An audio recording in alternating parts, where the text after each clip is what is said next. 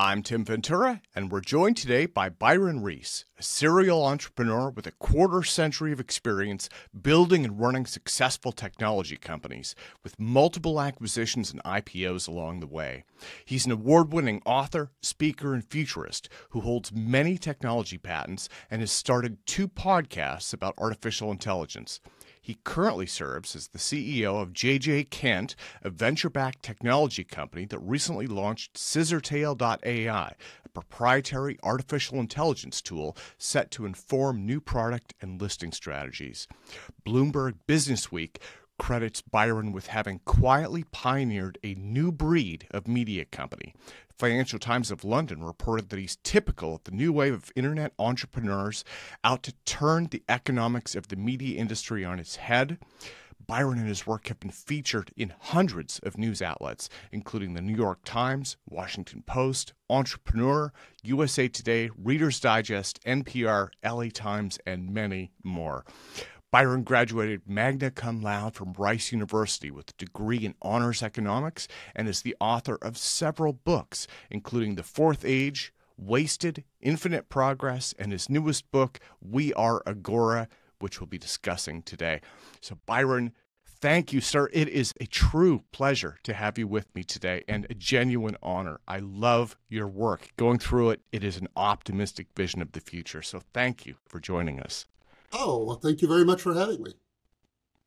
Well, so today we are discussing themes from your latest book, Agora. But given your incredible background in AI and past background writing on this, I also wanted to touch on some of your other books because you have many on trends. And again, this is an optimistic, exciting vision of the future.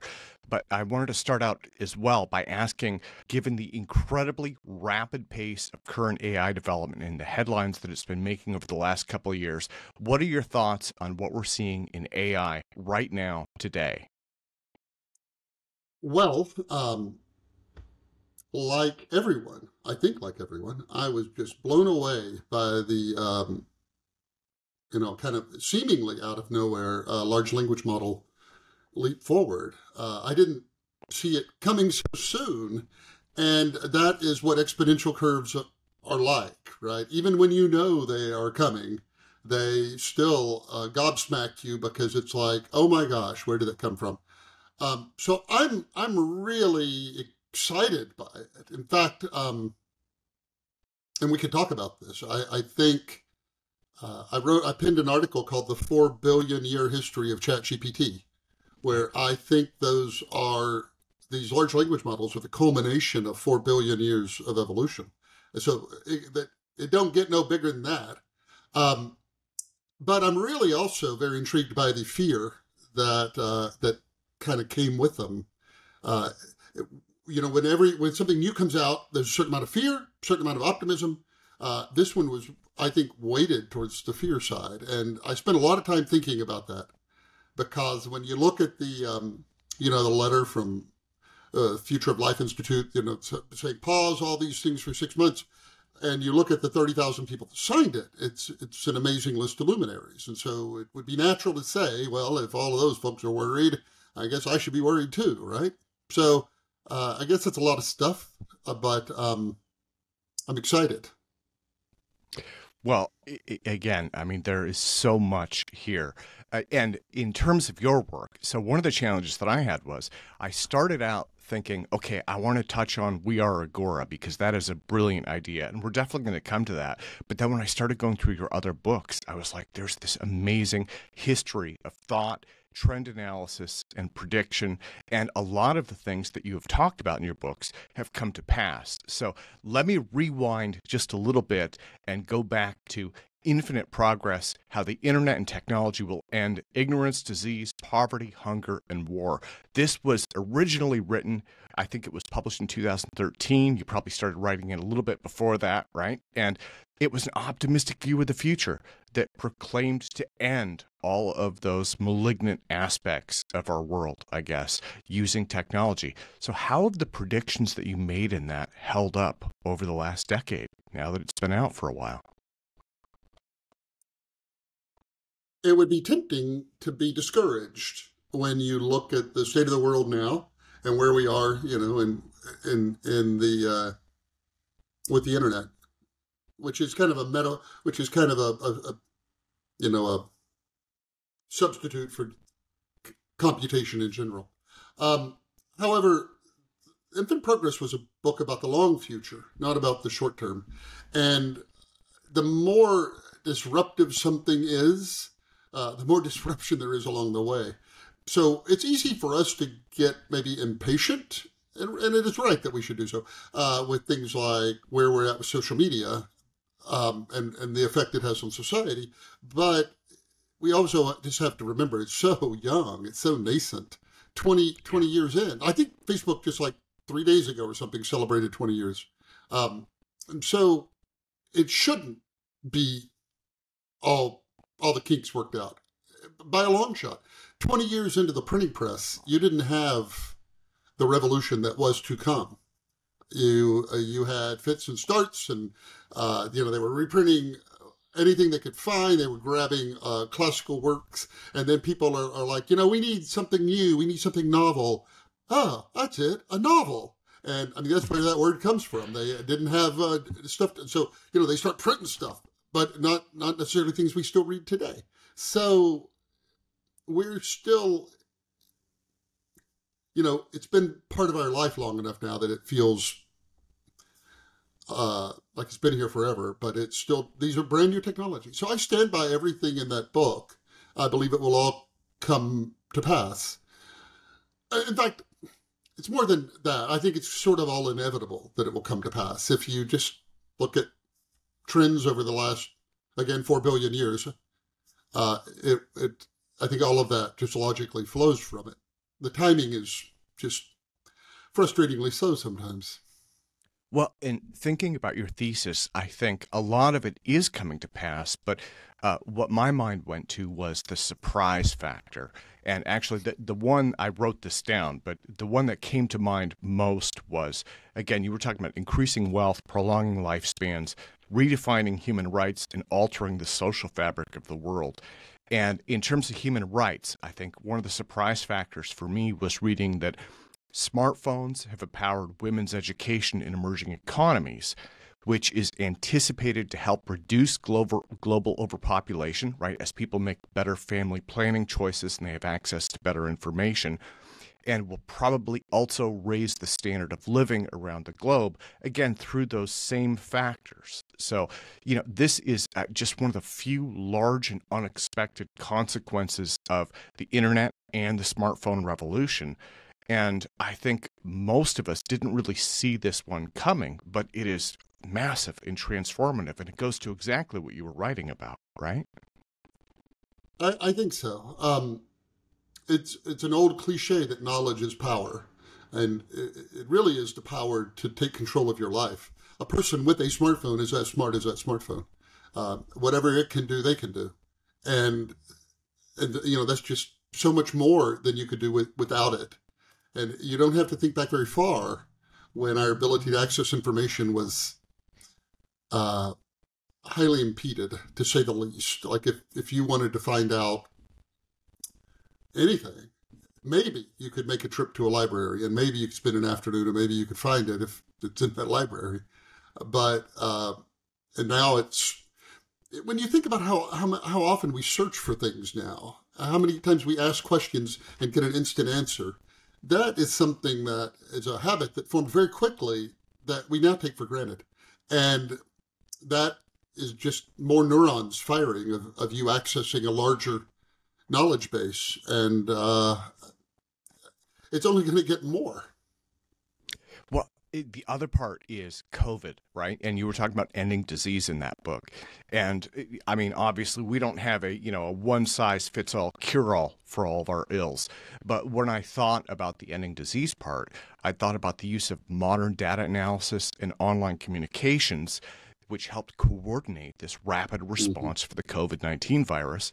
And these same technologies also played a pivotal role in the rapid development of vaccines by mm-hmm. the pharma companies, right? So we have two instances there where, again, you know, it didn't head things off the pass, it didn't stop it instantly, but it played a major role in ameliorating the negative effects in the Western world and I think globally as well. Absolutely. I think it's really fun how our expectations have changed so much. So you remember COVID started in March of uh, 2020. And I got my shot because uh, I'm in a risk group. I got my shot before the end of 2020. I got it December 28th of that year. And so somehow, not only did we have the pandemic begin, and then we all sort of like woke up to it, and uh, then one thing after another, and then it grew, and then it spread. Then they started all these things, and then there were trials, and then there were positive things, and they made the thing, and then they distributed it. And it's really fun because along the way, people are like, "Come on, chop, chop, get with it, get with it." Uh, yeah. Why don't I have it yet? you know, a, a, a vaccine for a brand spanking new disease by the end of the year. Um, when you know, back in the day when you got the plague, you just died. That was that was yeah. it. Yeah. That was the story. Um, and and now we're like, come on, it's been months. Why don't I have this thing yet? They don't have enough shots for everybody. Why not? Um, and and so it's just wonderful that I mean, that's great. I, I hope our expectations keep rising like that uh, because that just tells you about the world we live in.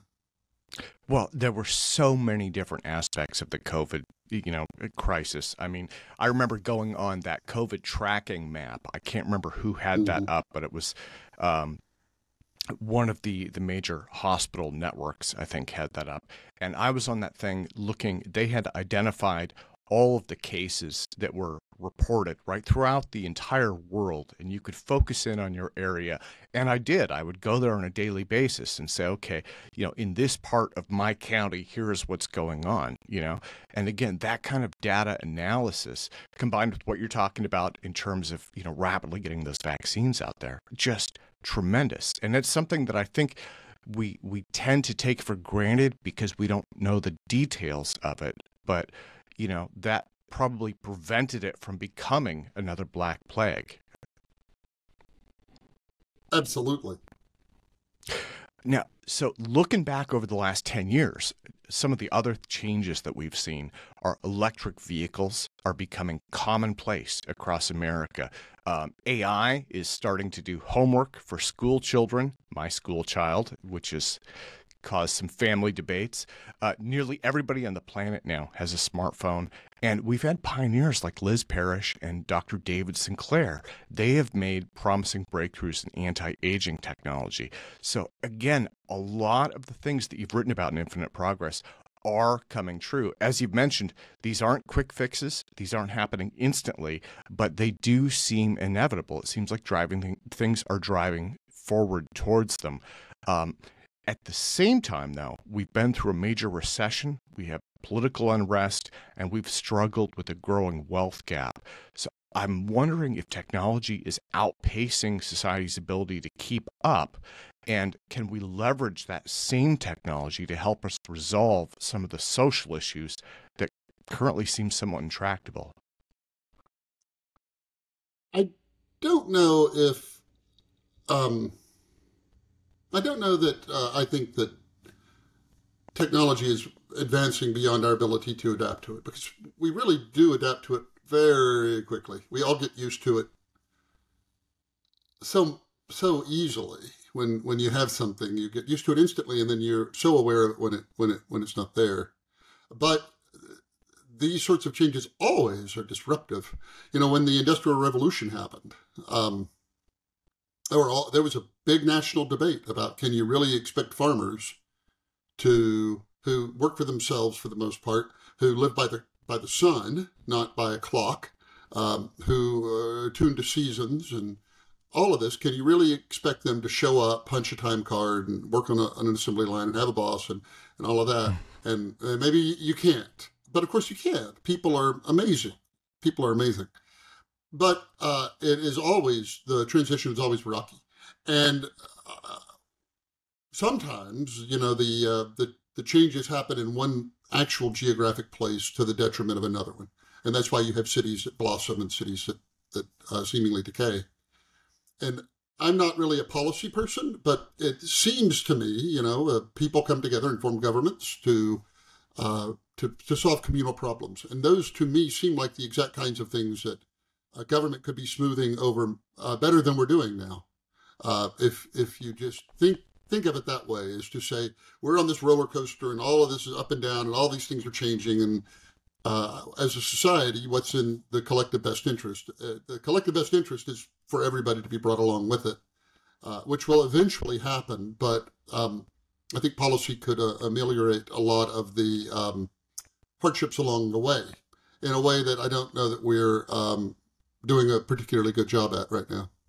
Ah, okay. Well, some of the concepts from the fourth age, which is another one of your books, right? So the Infinite Progress came out in 2013. The fourth age came out, I believe, in 2018.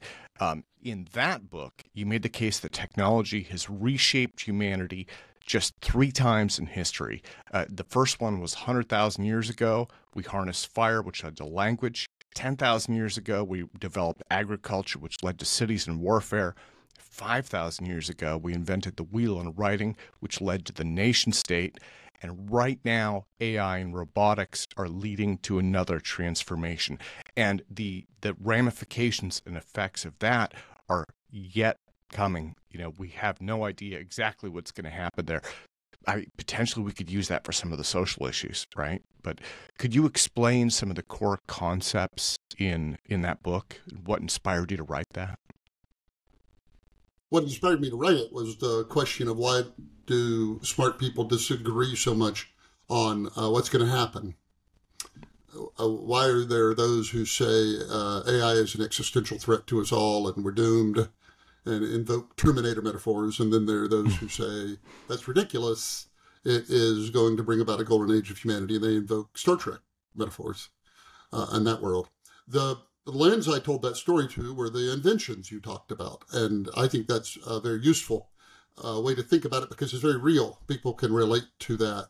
But I think if you go one level deeper, I think what's really going on, um, I think what's really going on is uh, our increasing ability to access information. So uh, the thing I hinted at just a minute ago that I was that I'm writing about at the moment, light, you know, Earth, Earth cooled billions of years ago, and almost immediately life formed. And that's a big mystery, by the way, why it formed so quickly. And it formed fully developed like we are. And the reason we know that is because uh, you know you know you share 99% of your DNA with the chimp and all of that, but you share 50% of it with the banana, 60% with mildew. Um, there's only one kind of life on this earth. It's DNA life, and it's uh, GTCA, four letters. It, that's it. That's all we have. And so it began that way. Um, and for three and a half billion years, there was one place to store information, one place, and that was DNA. And it uh, had incredibly long latency. Like you, it takes eons to write something new to it, and but it's pretty reliable. And so, for, but because it took eons to make edits to it, uh, life moved very slowly, and that's why there was only single-celled life on this planet for billions of years because there was only one place to write information. So very little information that was on this planet. And then the Cambrian came along, the Cambrian explosion, and uh, evolution created brains. And brains were a second place to store data. And they could store a lot of data, and they could store it very quickly. And they could uh, write new stuff through a process called learning.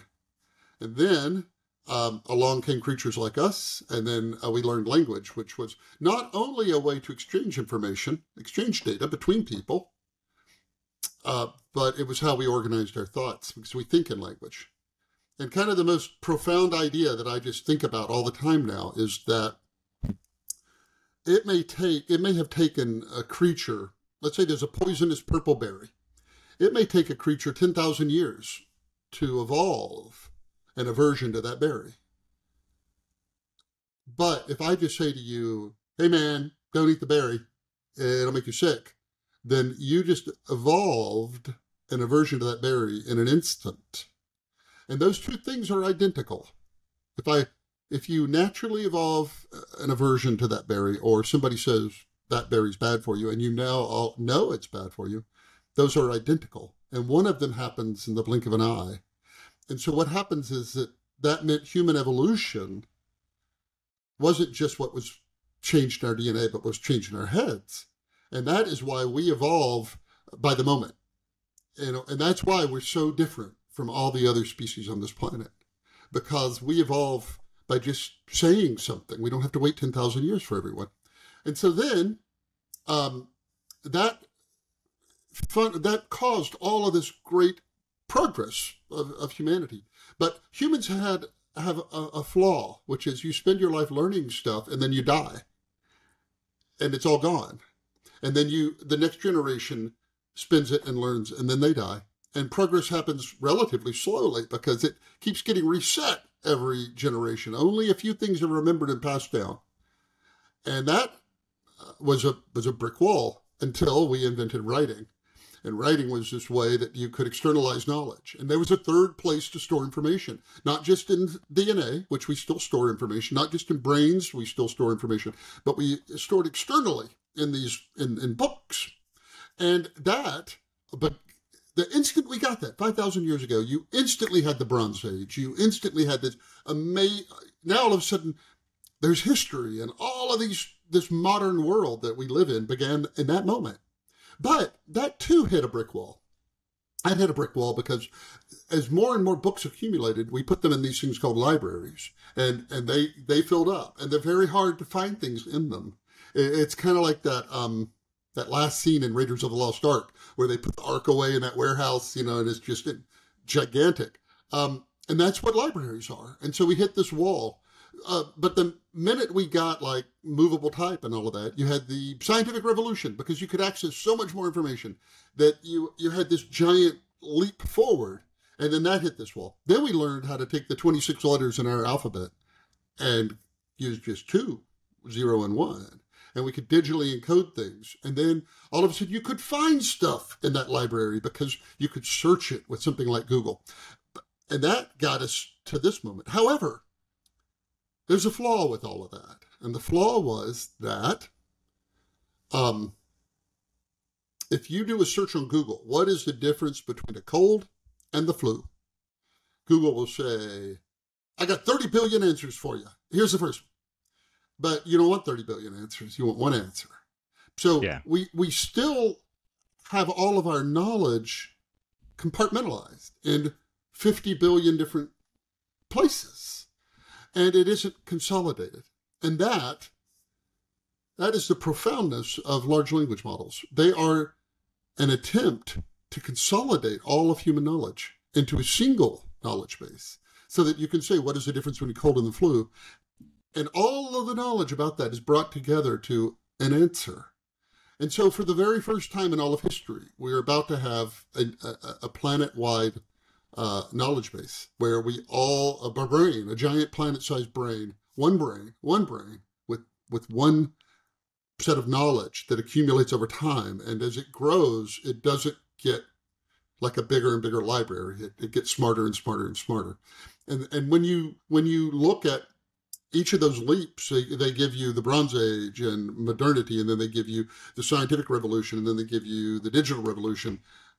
This is the big one this is the big one because you're bringing it all together into one thing. And, um, and, and so you can pick whatever milestones along that way that you want to tell that story. And in the fourth age, I, I picked speech and cities and the ones I did. Uh, but you can pick different markers along the way. But the big story is knowledge is power, and our ability to save, store, and access information is going up beyond exponentially, and that it just took a giant leap forward with these large language models. Well, do you think that this giant planet-sized brain that you've just described would that qualify as Ray Kurzweil's singularity? That was one of the questions that came to mind. You you touched on so many amazing ideas and concepts there you know? And again as as we start to travel forward to to look at where things are potentially going i mean you'd asked like are people a type of machine? That was one question. Uh, you'd also asked can computers feel anything right? And you know even a decade ago for most people those would have been easy answers. And i think now they are starting to get a lot more difficult to answer concisely and I'm wondering if, as again, you've mentioned, we have a mountain of information that has been compartmentalized and segmented, right? And as we bring that together using AI, we're doing it using tools that function much more like the human mind. So I'm wondering, um, you know, I mean, can computers feel anything today and in the future? And when they reach that point where they start to become more and more like people, do you think that'll be the singularity that Kurzweil's predicted? So uh, you mentioned in the introduction that I had these AI podcasts, and on one of them, I um, I asked 116 guests a very straightforward question, which are people machines? And the reason that question matters the reason that is kind of the core question is if people are machines, then someday we'll build a mechanical person, and then two years later it'll be twice as good and twice as good and twice as good. If people are not machines, then then uh, that there's there's a gap between what machines are and what people are. You don't actually have to get spiritual. You don't have to say.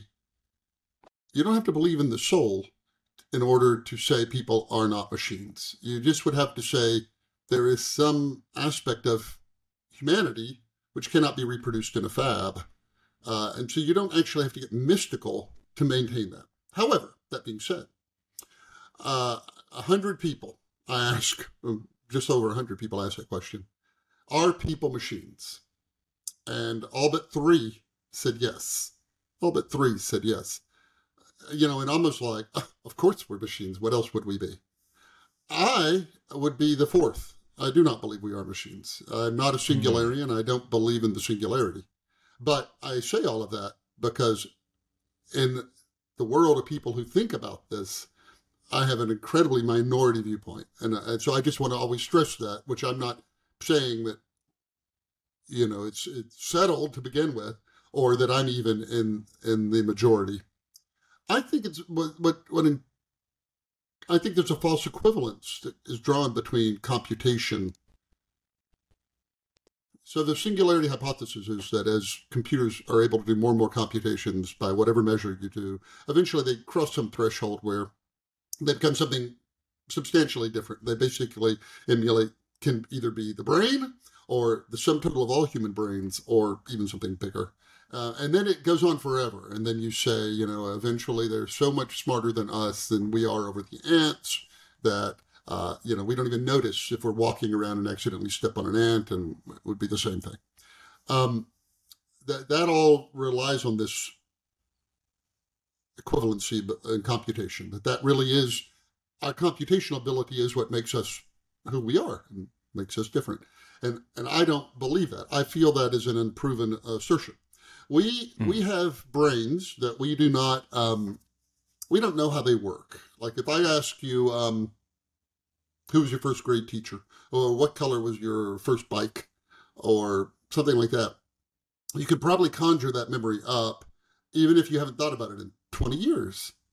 And yeah, I was, I was just yeah, yeah, I was going to say Mrs. Keys and red. Those were my yeah. answers. Mine were mine was green. And the thing is, is we don't know how you just did that. There's not a bicycle location and a teacher location in your brain. We don't know how you just did that little little miracle um, instantly. By the way, and then okay, fine. Then uh, we don't know that, but we don't know something even bigger, which is uh, how the mind comes about. So the mind is all of these things that the brain can do, which don't seem to be what an organ should be able to do. Like, um, you have a sense of humor. Your heart doesn't have a sense of humor. Your lungs don't have a sense of humor. Somehow your brain has one. It uh, can empathize. It, all of these things that we don't know how those came come about. We just don't. Um, and so that's the second thing. How does the brain work? We don't know. How does the mind work? How does the mind emerge? We don't know that. And then the big one that you mentioned is consciousness people say we don't know what consciousness is. That's not true. We know what it is. We just don't know how it can be. What it is, is it's the experience of the universe. Uh, you can put a thermometer in water and it will measure the temperature, but it does not feel warm. You get in the, the warm water and you feel warm. And that difference, we don't we call that consciousness, and we don't know how it is that matter can experience something.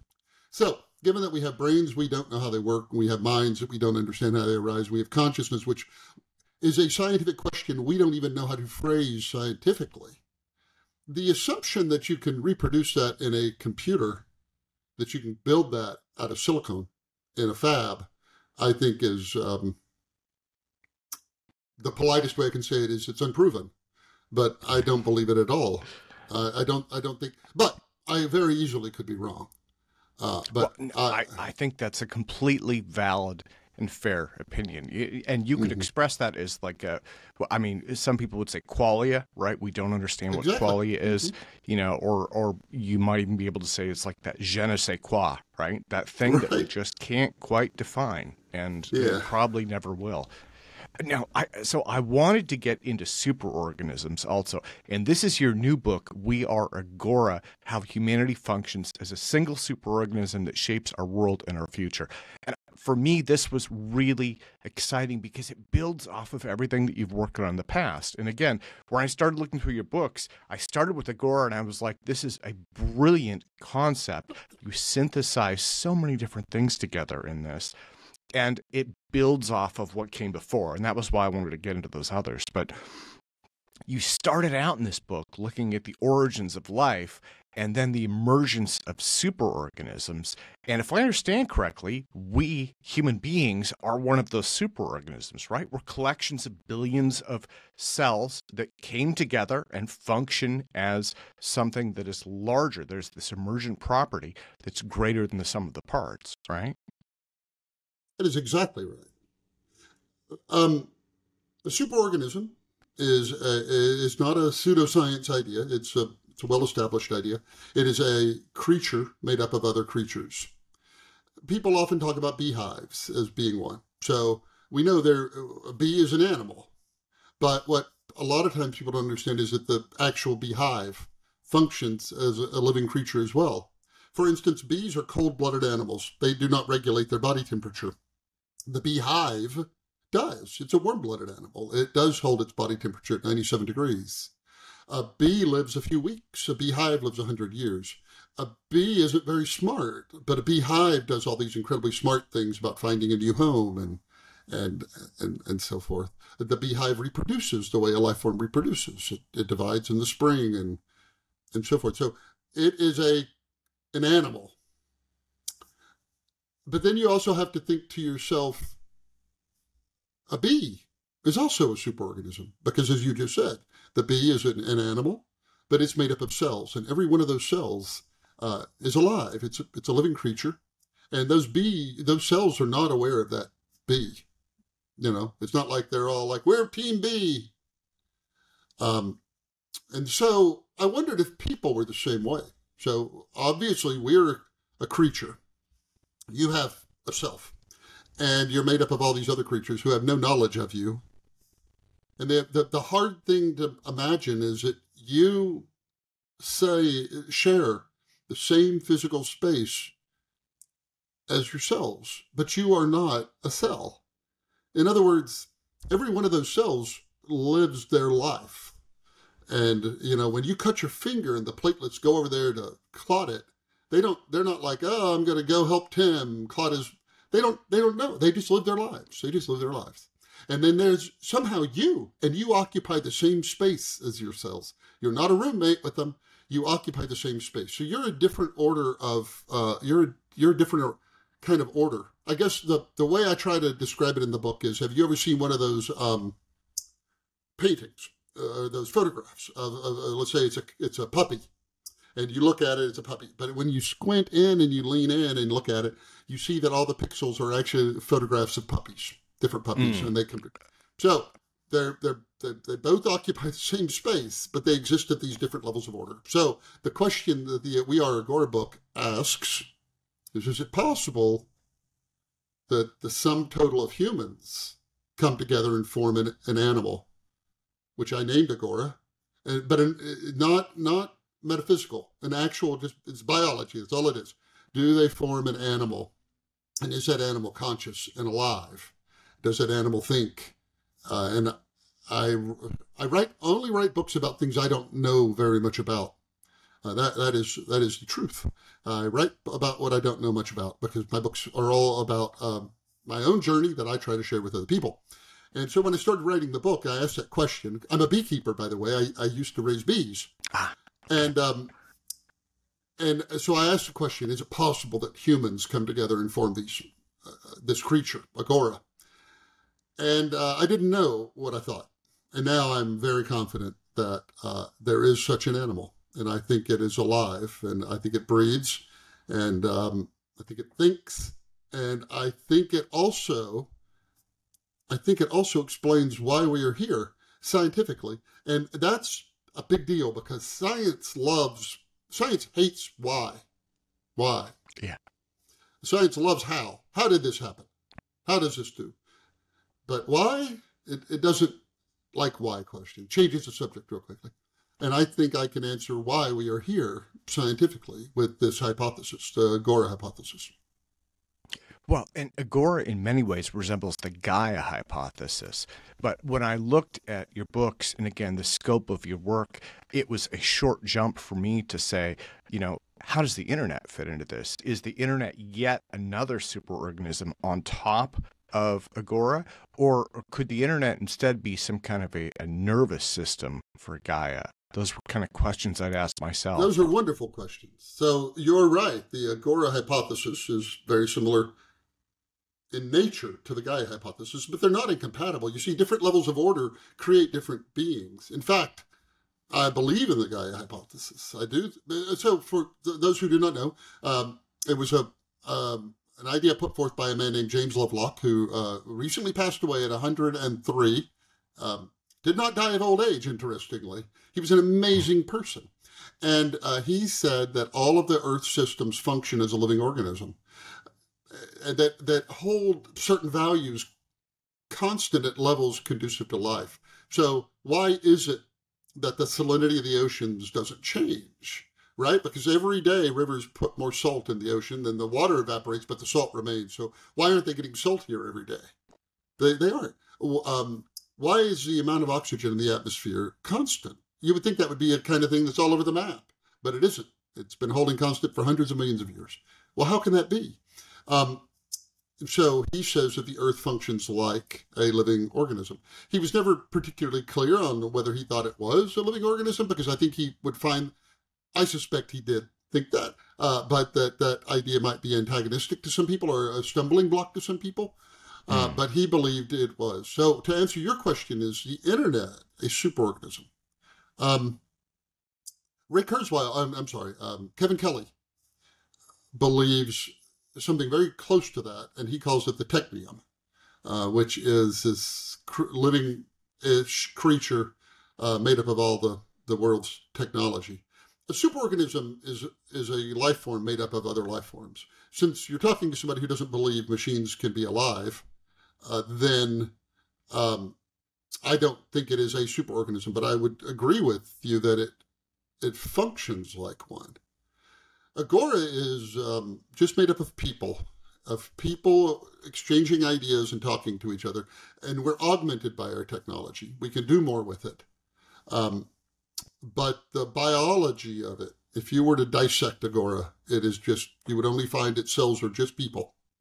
And Ah, those, okay. we, we, we congregate in cities, and cities uh, are our hives. And they, um, and cities learn and they grow and they can multiply and divide and, and spread and they encode information. Uh, cities encode an enormous amount of information uh, that can only be encoded by living in them. That that well anyway, I'm I'm, I'm digressing. No, I, I, uh, love you know, I, love the agora idea. I I think about it every day, and I hope it is the um, the idea that after I'm gone that lives uh, beyond me, because it it has a very it's it's something more than just knowing it because it has um, it has implications on how you should live your life that I think are really um,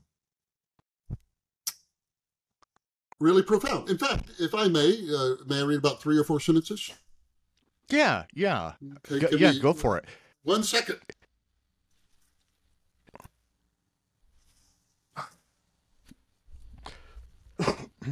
well, and, you know, Byron, while you're working on that, I should mention in terms of cities also, um, I've read that major cities all tend to resemble each other, and it's because they have a lot of the common pressures, right? And this seems like it might go to the superorganism idea. I mean, if you're describing those as basically, you know, organisms created out of living things, you know they they tend to have the same functionality and they resemble each other and that's that's something that's been fairly well documented i think there's a size and a scale factor involved right but um, someone said when you go to any major city beyond a certain point they've all got the same stuff right and you're mm-hmm. talking about like you know water electricity food distribution thoroughfares stop signs all that kind of stuff so it's interesting you see new york city which is a manhattan which is an easy one to look at because it's kind of an island so you can look at it by itself. Um, it has 40,000 restaurants. It has 10,000 tons of food, which is trucked in every day. And you have to say, well, who's in charge of that? Who is it that is deciding what 10,000 tons of food? And there are all these variables. What was the cod catch in Chesapeake Bay yesterday? All these things going on. And the answer, of course, is nobody. Nobody is making those decisions. They're all made from the bottom up. You have uh, 250 different kind of cells in your body and those cells uh, together form you. We the the U.S. Uh, Bureau of Labor and Statistics tracks about hundred thousand different jobs. So there's hundred thousand different occupations in people in New York, for instance, and so you you think of those as hundred thousand different kinds of cells, and they each operate on different algorithms that are figuring out what they're supposed to do within the context of the kind of cell that they are, and that that comes together and and brings in the right amount of flour to make all those bagels and pizzas, and uh, not all that too much and not all that too little. And it, it, it's also the same thing that distributes all the taxis and Ubers around the city. Nobody's saying, you know, let's put 500 here and 1,000 here and 200 here. They're all reacting to information, just like cells, that come together and um, they operate on their own algorithms, their own functional algorithms, and together they, they bring that alive. And then that city has a memory. It remembers things. That city outlives any of its cells. The city is longer lived than the people in it. Um, it's alive. That's a living creature. That, yeah, that's a living creature. Yeah. Well, and then through trade and commerce, cities communicate with each other, right? So yes, there's something called yes I, I go into a lot of this in a lot of detail. Unicoloniality, which is the ability. There are like different ant mounds where you got your individual mounds and they live their lives, but they also trade stuff as well. So yeah. I would just like to read one one short paragraph. It's not much, but it's the last paragraph Absolutely. of the book. It is says, um, if you've ever felt like you aren't living up to your potential or that you should be doing more with your life, I suggest you move past all of that Remember that no part of a superorganism can comprehend the whole. Agora is far too big for any person to shape or move. Instead, it can only be influenced by small acts of kindness done in great numbers. So put no heavier burden on yourself other than to be as kind as you can be and try every day to be a slightly better person than you were yesterday.